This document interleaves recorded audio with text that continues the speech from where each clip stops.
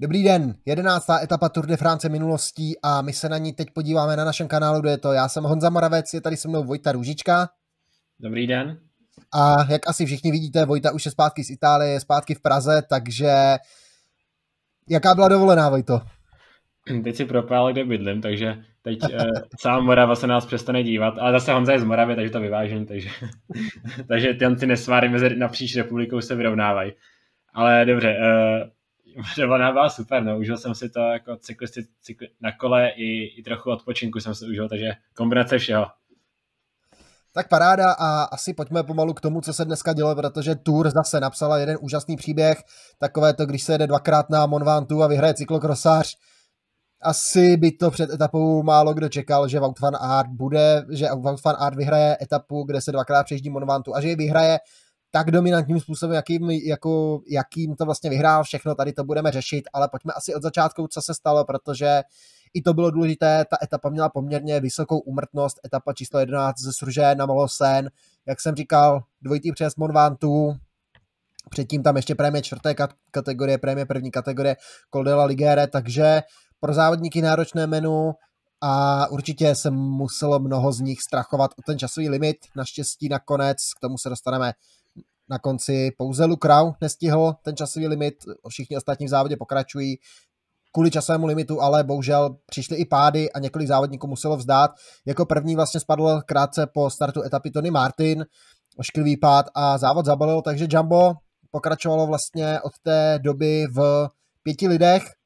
ale dva závodníci Jamba dneska byli extrémně vidět, dostaneme se k tomu všemu. Pojďme k tomu, jak se tvořil ten únik, protože hned od startu byl velmi aktivní Julien Alaphilippe, několikrát tam nastupoval, jakmile se zvedla nějaká skupina, Alaphilippe tam byl na zadním kole, ale dlouho se nic nedělo, až po nějakých 25 kilometrech odjel znovu Julien Alaphilippe s Nairem Quintánu na zadním kole, společně přijeli do té první prémie čtvrté kategorie Côte de Fontaine, kde Voklos a tam právě Žilen a Filip Naira Quintano utrhl, což bylo poměrně překvapení. Lídr vrcharské soutěže se propadl a už vlastně nebyl během celého dne téměř vidět, pouze při prvním přejezdu Monvantu, jak odpadal, už byl vidět z pelotonu. Když to Žilen a Filip se usadil sám na čele, pokračoval, projel jako první sprinterskou prémii v Les, in, v Les Inberts. Tam to o spurterech nebylo, pouze Jasper Philipsen tam za sebe místo vzal 9 bodů, pak Peter Sagan 13. místo 3 body, za ním Sonny Colbrelli 2 body, Michael Matthews 1 bod, takže žádné velké přesuny v té, vrchař, v té sprinterské klasifikaci se nekonaly.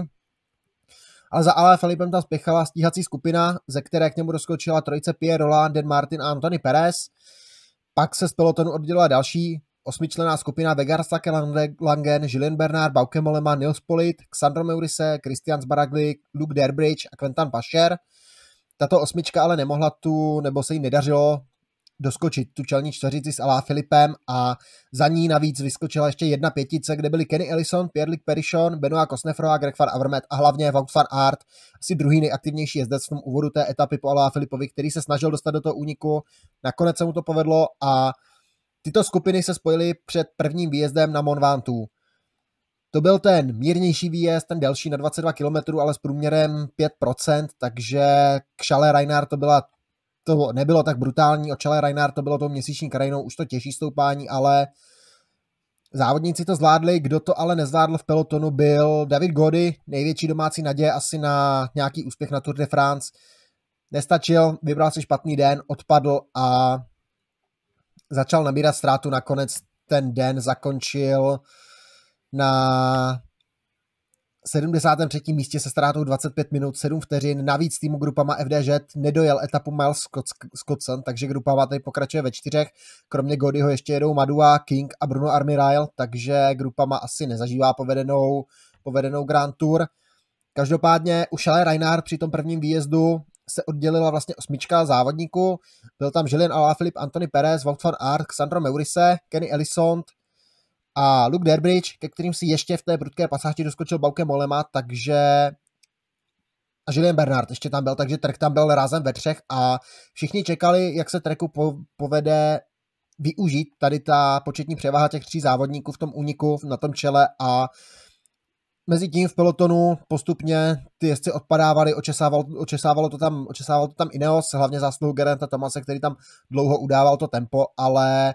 nic dalšího zásadního, kromě vlastně dělení toho úniku a odpadnutí Davida Godyho se při tom prvním přejezdu Monvantu nestalo.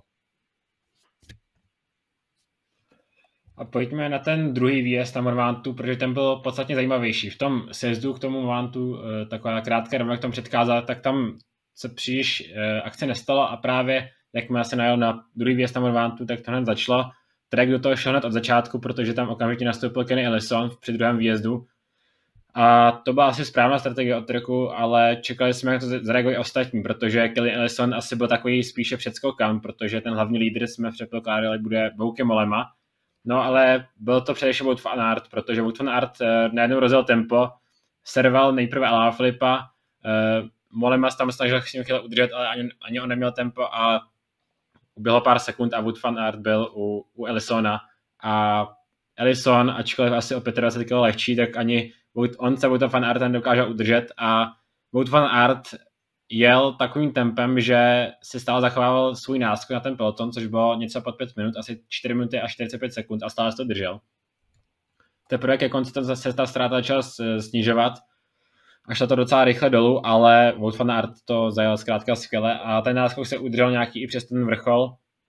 Za ním tam na vrcholu přijel na druhém místě pak eh, Edison s Molemou a šli jsme do toho sezdu, protože ale Wout van Aert měl zkrátka takový náskok, měl tam minutu, takže on ani nemusel riskovat, mohl jít docela v klidu, ale i tak, i přesto, že nějak neriskoval, tak docela získával náskok na ostatní. A Wout van Aert nakonec, člověk, který byl den předtím druhý ve hromadném sprintu, si dojel pro etapové prvenství v královské etapě asi, můžeme říct, nebo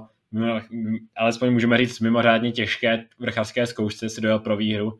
což je něco neuvěřitelného a tak tého univerzita, k tomu se ještě, univerzalita, tomu se ještě dostaneme, ale právě na druhém místě tam pak přijel uh, Kenny Ellison na třetím Baukem Malema a my můžeme jít na to, co se dělo v tom celkem pořadí, protože máme tu takové, uh, takové náznaky, možná, co jsme chtěli, slabosti tady, tady Pogačera, i když je to hodně v uvozovkách. Takže co tam dělo, Inos tam měl stále tempo, jel tam tempo trochu překvapivě, to nakonec byl nejsilnější z Ineosu Michal Květkovský z těch domestiků, protože brzo odpadnul Hart, brzo odpadnul Richie Port poměrně, a byl to především Michal Květkovský, který při, asi nějaké dva kilometry před cílem teprve odpadl. A čekali jsme nástup Karapaze, ale Karapaz jsem takhle navýšil tempo a spíše sílil po ostatních a nic se nestalo a pak to byl možná nečekaný muž, který nastoupil a to byl Jonas Vingegaard, který, který nastoupil a chytnul se jenom tady Pogačar, ale ne na moc dlouho. Neskutečný den pro Jumbo Visma, vlastně Michal Květkovský tam serval z té původní desítky, téměř všechny, David Gody ten odpadl už dříve, nebyli tam závodníci, nebyl tam Bilbo, nebyl tam Katana, nebyl tam Pare Pentre, kteří byli vlastně těsně za tou desítkou, pak odpadal Guillaume Martin, ale nejdůležitější zpráva byla, že poměrně brzy odpadl i průběžně druhý Ben O'Connor, takže to tempo Inosu mělo vlastně za následek velkou selekci ale jak říkal Vojta, zvedl se Vingegaard, jeho se chytl jenom uh, uh, uh, jenom tady Pogačar, za nimi byla dvojice Urán Karapaz a pak pokračovali ještě Lucenko s Keldermanem, Hendrik Mas ten ztrácel pak už více, musel tam stoupat sám, ale důležité bylo, kamery si vybírali Vingegaarda s Pogačarem, Jonas Vingegaard jel tempo, pak se ohledl za sebe, ještě ho navýšil a najednou tady Pogačar tam nebyl. Takže Jonas Vingegaard jako první letos dokázal zaskočit tady Pogačara, dokázal servat vlastně na Monvantu tady Pogačara a to doslova, protože na vrcholu měl Vingegaard už nějakých 40 sekund k dobru na Pogačara, zatímco na Pogačarovi vlastně na vrcholu se blížili, byli těsně za ním Uran s Karapazem už, takže Pogačar si vybral také už nějakou slabší chvilku, jenže pak přišel ten sjezd a tady ta čtveřice se zase sjela a vlastně Pogačar pak dal čtvrtý, Uran pátý, Karapas šestý, Vingegaard sedmý, takže vlastně z toho Vingegaardova nástupu na Vantu nezůstalo nic. Lucenko s Keldermanem pak dojeli, ty ztratili nějakou čtvrt minutku, takže také v tom sjezdu to limitovali tu ztrátu, tam největší ztráty pak z těch jezdců, kteří se jakž takž udrželi, budou počítat Enrik Mas, ten ztratil minutu, téměř minutu a půl na Pogačara, Guillaume Martin, ten ztratil ještě o minutu víc jak Enrik Mas, takže a Ben O'Connor, ten ztratil vlastně čtyři minuty na tady Pogačara dneska, takže to jsou asi ti největší poražení, ale jak jsem, to, jak jsem naznačil, jak jsem z toho měl i obavy z toho sjezdu, tak se to asi naplnilo, protože na tu jsme viděli nástupy, viděli jsme dělení, Pogačar ukázal poprvé slavo, slabost, stra, začal ztrácet, ale protože tam byl ten sjezd, tak vlastně všechno tady to bylo, tady ten faktor celý časový byl eliminován. Monvantu nebylo zase tak špatná etapa, byla to zajímavá etapa, abych ne, nevyznal špatně, byla to zábavná cyklistika, ale přece jenom Monvantu je kopec jeden z nejikoničtějších a nebude to asi výjezd, na který se prostě zapíše do historie jako ty předchozí výjezdy. Prostě 2016 Chris Froome běh, 2013 taky nástup Chrisa Froome a pak měl předchozí roky Armstrong Pantani, když vezmu ty poslední, poslední roky, ale to, to asi úplně nezůstane v paměti fanoušku. Není to asi úplně chyba jen toho sjezdu, ale ten sjezd je podle mě částečně na vině, protože zkrátka všechno se tam silo, ty nástupy, ty odstupy favoritů se snížily, vlastně ten sjezd mi připadal trochu tam zbytečný tu chvíli, protože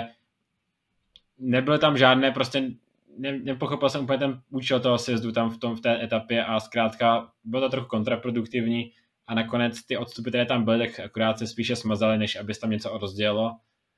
Takže k tomu sezdu asi jsme kritizovali a musím říct, že jsme možná měli i pravdu. Uh, ale on, my jsme nebyli jediní, on to bylo spoustu lidí kritizovat tohle to rozhodnutí, že se nekončí na Vantu. Takže, takže to takhle bylo. Ale ještě než se přestanu potom k těm dalším tématům, to bych se možná kouknul na druhou stranu, na samý konec peloton, protože dneska to byl samozřejmě byl boj o o to, aby se sprinteři udrželi vůbec v závodě, protože ten časový limit byl hodně přísný, byl přísný už na tým, kde odpadl, nestačil ten půjt Arnold Demar a teď to byl především boj o Marka Cavendishe, který odpadl v samém začátku a čekali jsme, jestli vyhraje, nebo jestli se udrží v závodě. Když jsi zmínil Marka Cavendishe, tak já jenom řeknu, protože k Monvantu se váže jedna tragická událost, kdy Tom Simpson britský cyklista, vlastně v 60. letech uh, asi největší britský cyklista, největší vlastně naděje britská na, na první vítězství na Grand Tour. Zemřel při výstupu na Monvantu a je tam i jeho památníček a Mark Cavendish při průjezdu vlastně kolem toho památníčku, viděl jsem video, tak smeknul helmu jako úctu tomu Simpsonovi, takže pěkné gesto a bylo vidět, že Mark Cavendish asi ví, že to stihne, protože ten limit dneska stihl o 7 minut, takže celkem, celkem v pohodě. Přijeli to tam s ním Ballerini, Morkov, Tim de Klerk, uh, takže pět jezdců Dekéniku tam dojelo pospolu, ale a vlastně téměř všichni závodníci ten limit stihli, pouze Luke Rau nestihl a Serenkrak Andersen to měl teda o prsa korejské běžkyně, ten to stihl o 3 sekundy ten limit, takže jen tak tak na 156. místě, ale jinak ta etapa Kromě Luka Raua, jak jsem říkal, Tony Martin spadl, odstoupil, už jsem zmínil Marse Skocna, také spadl, odstoupil, nebo odstoupil, ale odstoupili i další. Odstoupil Dan McLeod, poslední muž pro Nasera Buanyho do těch závěrů, odstoupil Clement Russo, což je klasikář týmu Arkea, takže Arka rázem přišla o dva, o dva závodníky, odstoupil Viktor Kampenard z týmu Quebec Next Hash, odstoupil i Toš van der Sande, který včera byl v úniku, dneska nedojel a také týž Benot. A tým DSM je takové trošku zklamání zatím na tomto závodě nepředvádějí nic moc, teď přišli asi o svou nejvýraznější postavu zatím, Týše Benota, který ještě před etapou vyhlašoval, jak si chce skočit do úniku a chce zabojovat, tak tu etapu bohužel nedojel a na tur teda pokračuje tuhle chvíli 156 závodníků, takže ta umrtnost je poměrně vysoká. Obzvlášť dneska, myslím, že Tony Martin, ta, Tony Martin to hodně schytával celou tu, takže už asi po čtvrté tady spadnu, takže ten, ten jako, už jsem tam jenom bezmocně seděl v tom příkopu a říkal si, že to má vůbec zapotřebí a nakonec se rozhodl, že to zapotřebí asi nemá, protože závodě, závodě, závodě už nepokračuje a vlastně Jumbo přišlo, i Ineos přišlo takového podobného závodníka, myslím toho silničního kapitána, který tam je hodně důležitý těch závěrů, protože Tony Martin odstoupil, Luke Rau nestihl limit, hodně velká ztráta pro oba týmy, eh, jak pro Ineos, tak pro Jumbo a tyto závodníci jim budou chybět a budou těžko hledat záhradu, protože jsou ty závodníci, kteří mají zkušenosti a takový ty nenahraditelní závodníci, protože to jsou ty, kteří hlásí, teď fouká vítr, pojďme dopředu, bude se něco dít, který mají přehled v tom závodě a budou chybět. Určitě s tebou souhlasím, jak pro Jonase Vingegaarda, tak pro Richarda Karapaze to bude ztráta. U Jonase Vingegaarda úplně nevím, kdo to tam teďka tu roli bude zastávat, protože tam je možná Mike Toynisen s radami Stevena Kruiswajka asi bude tak, ten takový silnější kapitán. O Ineosu Dylan van Barle, možná Michal Květkovský, i když Michal Květkovský ukazuje, že v těch horách je vlastně z Ineosu asi nejsilnější a já bych se teď asi zaměřil detailněji na, právě na Ineos, protože teď dneska jel tempo, celou etapu jeli tempo, očesali ten peloton úplně na prvočinitele a pak Richard Carapaz nenastoupil. Takže ta taktika a i ta týmová síla vlastně, že Nakonec je to Michal Květkovský, který tam zůstává nejdéle s Karapazem, nebo teďka na Vántu tam zůstal nejdéle s Karapazem. Richie Port, který vyhrál Dauphine, je neviditelný. Geraint Thomas, jasně chápeme, ten spadl, měl vykloubené rameno. Tal Gegenhardt ten asi nepřijel s nějakou úplně zářnou formou, takže Vojto, co k Ineosu? Jako ten tým nemá úplně tu sílu, jak jsme asi čekali, ale na druhou stranu vezli tam Karapaze dva km před cílem, což není tak daleko pod vrchol a tam se Karapaz mohl sebrat a nastoupit, ale nevím, jestli to neměl, nebo jaká byla vůbec strategie Ineosu, že takhle celý den jeli. Podle mě prostě doufali, že aby zaprvé chtěli ukázat, stále jsme tady, nejsme úplně ten Ino, nejsme ten Ineos, který jsme bývali, ale stále jsme hodně silní a druhá věc je, doufali, že nějaký z těch favoritů zkrátka bude mít horší den a zaplatí na to a podařilo se jim servat Davida Godyho, o kterého úplně neusilovali. Bena Conora, což samozřejmě skočili celkem pořadí, ale podle mě hlavní cíl byl třeba doufat, že Rigoberto bude mít krizi nebo nějaký jako závodník, ideálně tady Pogačar pro ně a prostě, že chytne hodně, hodně minut, ale to se jen úplně nepovedlo a nakonec to pro ně dopadlo dobře, asi nejlépe, jak mohl ve finále, ale uh, zkrátka douf, z toho, z toho, jak jeli, tak jsme asi čekali něco víc od Kavrapaze, ale nakonec přijel vlastně Vantu víceméně s, s Pogačarem, takže to asi není zase tak hrozné, ale čekali jsme nástup, ten se nestal. A druhá věc, že ještě jak se týká to zklamání, tak pro mě zklamání asi největší zatím Richie Port, protože ten vyhrál Dauphine a že ho bude porážet Michal Květkovský, který naopak pro mě jako asi zatím největší, jedno z největších překvapení, jak jezdí a pro mě zatím nejdůležitější muž Ineosu, protože Karapaze provezl těma etapami, kde se padalo, těma etapami, kde se foukal vítr, tak ho tam všude provezl výborně a vlastně dík, a dneska tam dal až na dva km pod vrchol Vantu, takže pro mě Michal Klatkovský je dneska možná i jeden ze závodníků dne a proti tomu zklamání byl právě Richie Port. Teď asi pojďme na tým Jumbo, protože to je taky tak trošku příběh, podobně něco jako Marka Veny jsme tady říkali ze dna na vrchol, tak Jumbo také přišli vlastně o Primože Rogliče, což měl být plán 1, 2 i 3, Sepku, Steven Kruiswijk tady nemají zářnou formu, Wout Art to vypadalo, že taky nemá zářnou formu, ale najednou najednou, najednou, najednou Wout van Art vyhrál etapu přes Vantu, Jonas Vingegaard sedí třetí na vlastně v celkovém pořadí aktuálně a navíc je prvním městcem, který dokázal urvat tady Pogačara na letošní Tour de France, takže co o Jumbu, o Voutu van Artovi, o Jonasi Vingegaardovi, co k ním, protože ti teďka zase asi to vypadá, že budou hodně povzbuzení, hodně motivovaní. Jonas Vingegaard je zatím pro mě jedno z největších překvapení Tour de France, ačkoliv eh, my jsme čekali tady s Honzou, že budou ty jeho výkony dobré, že bude skvělý tam kruce k,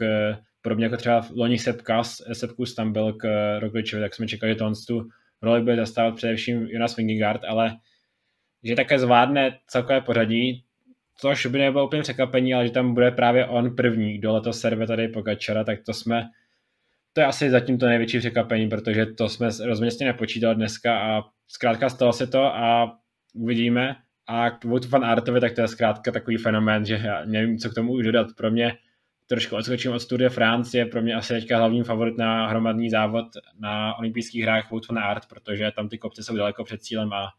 on má sprint a kopce zvládá, takže pro mě teďka hlavní favorit asi na olympiádu Wout van Aert, když tak odskočím od de France. Co takové to téma, ta oblíbená otázka na Vouta van Arta, jestli nepojede někdy na celková pořadí, jak vidíš jeho šance, protože on tady dál a dál potvrzuje, že jsou reálné a já bych se ho nebál srovnávat s těmi cyklisty typickými vlastně z toho dávno věku cyklistického, z těch 70. 60. let, kteří vlastně uměli zajet časovku, kteří uměli zaspurtovat, kteří uměli vyjet perfektně hory a Wout van Aert včera v rovinaté etapě těsně prohrál s Markem Cavendishem, v závěru tu rychlost měl možná ještě lepší než Cavendish a dneska vyhraje etapu, kde se dvakrát přejíždí Mont Ventoux. Neuvěřitelný oboživelník. To možná už překonává i třeba Matěje van der Poola v tom, v téhle oboživelnosti, protože takhle zase Matěj van der Poel nám kopec asi nevyjde nikdy, nebo zatím se na to netváří. A co jsme tady řešili s Honzou, tak Wood van Aert je ještě před natáčením možná jako jediný závod, možná kdybychom chtěli nějakého závodníka, který je schopný vyhrát všech pět monumentů, který zároveň je schopný vyhrát na Paříž Roubaix a zároveň dojet první měsíc na Tour de France, tak to je asi jediný závodník, kterého se díváme, protože Aert nám zkrátka ukazuje, že ty nohy to celkové poradí asi má, kdyby se to zaměřil na Tour de France, tak by té desíce byl, myslím si, že by tam byl spíše ke konci, ale koukněme se, jak to teďka, on je 13 celkově, samozřejmě získal tam díky uniku, kdyby tam byl v balíku, tak ale si troufám tvrdit, že dojde docela vysoko, třeba před Benem O'Connorem nebo podobně jako on dojde, takže myslím, že van Art zkrátka na to celkové poradí asi by teoreticky měl, kdyby na něj jel. Nemyslím si, že to někdy obětuje celou sezónu třeba na celkové poradí na Tour de France, ale zkrátka skvělý Wout van Art jezdí tady skvěle. Musím s tebou souhlasit, protože ty jeho výkony jsou naprosto fenomenální. Co jeho ambice, asi ten zelený trikot vypustí možná zítra třeba, jestli půjde, myslíš, že půjde zítra do toho sportu, když se pomalu začne přesouvat dál? Asi určitě předpokládám, že to tam půjde, když byl druhý, tedy včera. A docela mu bude jedno, že, že dneska vyhrál horskou etapu. A bylo by to zajímavé, kdyby vyhrál horskou etapu a druhý den poté by vyhrál sprint, takže to se tady už hodně toho nestalo. Tak a teďka, no já se tě zeptám, já se tě zeptám potom, protože pojďme ještě dořešit tady ty resty, co se týče soutěží, takže v tuhle chvíli vede tady Pogačar, druhý je Rigoberto Urán se ztrátou 5 minut 18 sekund, takže Pogačar má stále pohodlný polštář, třetí je Jonas Vingegaard, čtvrtý Richard Carapaz, na páté místo spadl Ben O'Connor, šestý je Vilko Kelderman, sedmý Alexej Lucenko, na osmé místo padl Guillaume Marta, uh, Enrich Mas, Devátý je Gio Marta, na desáté místo poskočil Pio Bilbao, jak říkal Vojta Wout van Art, už je třináctý po té dnešní etapě, ale na nejlepší desítku ztrácí čtvrt hodiny, takže tam ta ambice asi nebude. V té zelené soutěži i nadále vede Mark Cavendish poměrně s pohodlným náskokem, teďka je to nějakých 68 bodů, nebo 58 bodů, jestli umím dobře počítat, 58 bodů, děkuju. A za, zamotává se nám ale ta vrchařská soutěž. Nairo Quintana dneska si zkoušel do toho úniku jít, ale nebodoval, vypadl si z toho. Wout van Art, ten po té vrchařské soutěži nějak extrémně nešel, ale protože přijel první ten druhý výjezd na Monvantu, který byl hodnocený bonusově speciálně, tak tam sebral 40 bodů, celkem má 43 bodů a je druhý v té soutěži za Nairem Quintánou. Třetí je Michael Woods, 42 bodů, čtvrtý Wout Plus, 39 bodů, na páté místo poskočil Bauke Molema, 36 bodů, šestý Kenny Ellison, 27 bodů, pak je Pogačar 26. Co Wout van Art a puntikovaná soutěž? Myslíš si, že to bude jeho ambice nebo, nebo ne? Těžko říct, já myslím, že spíše bude chodit do těch úniků a zkoušet další etapu. A jako když je tak vidím, tak možná jen tak mimochodem se mu podaří vyhrát i punikatou soutěž, jako, že se o to nebude ani snažit, ale podaří se mu to. A kdyby šel třeba do té zadné soutěže od začátku, tak si myslím, že tam, jako, kdyby o tom vloženě šel, tak by teďka možná v tom zadném dresu jel. Ale těžko říct, o tak mi neskočí obožívání zkrátka, že to je něco neskutečného. Tak a poslední otázka k té dnešní etapě, už, už slibujeme, poslední otázka, je tady Pogačar k poražení, protože dneska přece jenom poprvé ukázal, že se dá servat. Nebo že, že, je, že se mu dá ujet bez stoupání. A možná dneska se ukázalo to, co tady Pogačar i predikoval, že největším soupeřem pro něj bude on sám, protože dneska on si věřil takovým způsobem z těch předchozích etap, že se za každou scénu snažil chytnout Vingegaarda, který mu v celkem pořadí ztrácí na ně pět minut právě to možná to tempo tak přepál, že pak dojel společně s Karapazem a kdyby tam měl svoje tempo, tak eh, třeba bude na tom lépe, ale je k poražení, nicméně viděl jsme to třeba i na Giro, kdy Egan Bernal tam také v závěru ztrácel, ale pořád to s přehledem hlídal a to ten náskok jeho byl celkem poradí o hodně menší, než má tady tady Pogačar. Ale je to třeba náznak, že tady Pogačar by mohl mít slabší ten, první, ten třetí týden a že tam by mohl být zranitelný. Nicméně tam by musel být zranitelný takovým způsobem, že by ztratil pět minut, což je stále hrozně moc.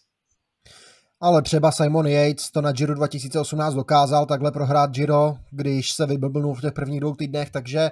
určitě bych neodepisoval tu Tour de France ještě, že není, není vyhráno, ale jak říkáš, tady Pogačar je asi sám sobě největším nepřítelem, vlastně i Simona Jejce, tehdy v tom roce 2018 popravili vlastně jeho, jeho výlety, kdy se snažil honit bonusové sekundy, takže Uvidíme, jak to tady Pogačar zvládne do dalších etap. Každopádně zítra, už tam jdeme, už to bude. Zítra by to neměl být den o jezdcích na celkové pořadí. Etapa za St. Paul, Trova Chateau do Ním na, 160, na necelých 160 km, 159 km je zvlněná, ale není, je to trošku, mě to připomíná takovou tu etapu vlastně úterní tu první povolném dnu, je tam jedna prémie třetí kategorie v půlce trasy, pak je tam sprinterská prémie docela blízko před cílem na 132 a půltem kilometru v UZES, pak je tam zase jedno nehodnocené stoupání 3,9 km 3%, takže těžko říct, asi tady budou favoriti zase spurteři. Je to trochu zvoněné, jak jsi říkal, takže můžeme jen zase předvídat, že se to třeba roztrhá, nebo že tam bude foukat vítr, ale koukám na počasí, mělo by být docela pěkné počasí a na druhou stranu, včera jsem tady říkal, že na Vonvantu by mohlo pršet a tak svítilo těch parádní sluníčko, takže uh, si myslím, že to počasí úplně nemůžeme překládat jako váhu a nebo té předpovědi. Uh, aspoň té mojí, co tady nacházím, tak je asi nějaká chybná, ale takže té zítřejší etapě, tak uh, asi to budou sprinteři, čekám Novendě z pelotonu, obzvlášť po dnešku, že to třeba, myslím si, že to nenostrá, i když ta možnost tu je a asi favorizuju právě ty nejrychlejší závodníky. Tak a otázka na závěr. Rekordní 34. Radši bys viděl rekordní 34. vítězství Marka Cavendishe anebo dvojboj etapa přes Vantu, etapa spurterská? Jo, tak to, je, to, to se mě hodně, to já na to asi neodpovím, protože já fakt nevím. E, jakože to, to, oba by bylo hrozně zajímavé příběhy a asi které by si zapsali do historie, ale netroufnu se odpovědět, co bych viděl radši. Tak aspoň si typni, kdo to zítra bude teda. Tak typnu, že se stane ten dvojboj, že Usman Art zítra vyhraje etapu. Já nevím, jestli typnout Marka Cavendishe, abych mu když tak tu cestu neskazil, ale mě tady nikdo moc další nenapadá. Já řeknu Jaspera Philipsena, že mu to konečně, konečně vyjde, protože to tady obstřeluje, ty, ta druhá, třetí místa sbírá poměrně pravidelně, takže snad Jasper Philipsen zítra bude královat. A uvidíme, dneska se nám to teda trošku protáhlo, bylo o čem mluvit, tak doufáme, že jsme vás nenudili a zítra zase na viděnou po té sporterské etapě uvidíme, jestli tady budeme znovu pět ody na Vautofan Arta, nebo budeme pět ody na Marka Cavendishe, nebo budeme pět ody na úplně někoho jiného. To všechno se dozvíme už zítra. Takže díky za pozornost a zase na viděnou. Naschledanou.